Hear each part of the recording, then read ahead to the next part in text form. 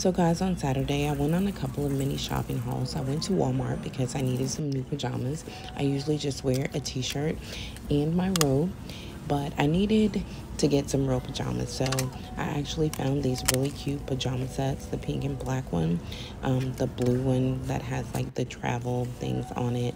I also found this really cute pajama dress. It is so soft, it is the softest material. Um, while I was there, I also had to get snacks I needed that um, blackhead remover kit as well. Found this really cute dress. It's so cute, and I actually have shoes to match it. Pantyhose for church. So I found these two two packs. So they have black ones with designs, and then like the regular brown ones. Picked up some knee highs too, because you know sometimes you don't really need the full thing. Some Dr. Teal's and $300 later, I'm out and on my way to Burlington's. I browsed the aisles, picked up some press on nails and some eyelashes, as well as some under eye masks.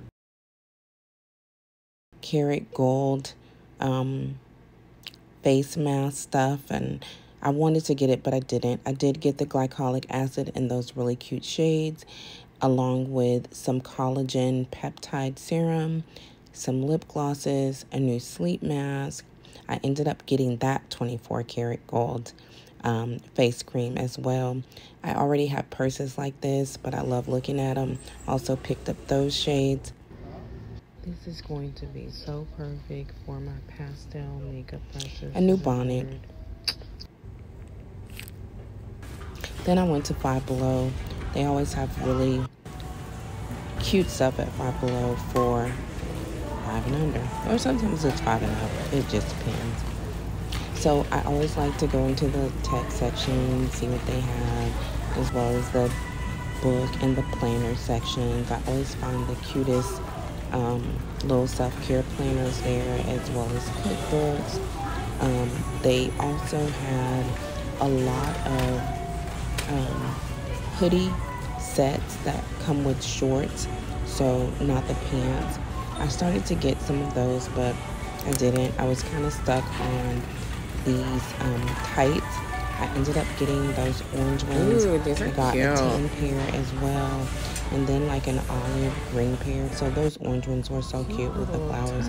This reminds me of like the 70s. I ended up finding a really cute Disney shirt to pair with it because I'm a kid at heart. And I just browsed around and looked at everything. I bought some more face masks out of here as well as a jade. No, I got the jade roller from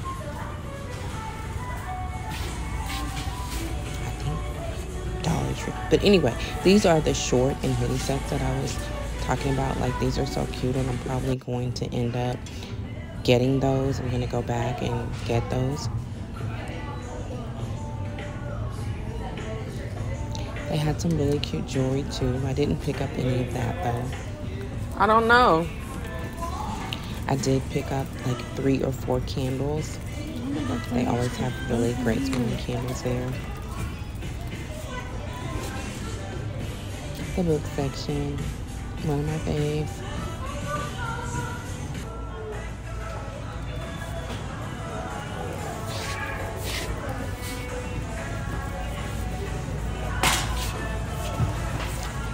Pens and love pens, planners, and journals. I have so many, and I was so tempted to get some more, but I was like, mm, can't. So there's my husband. He's checking out all of my things.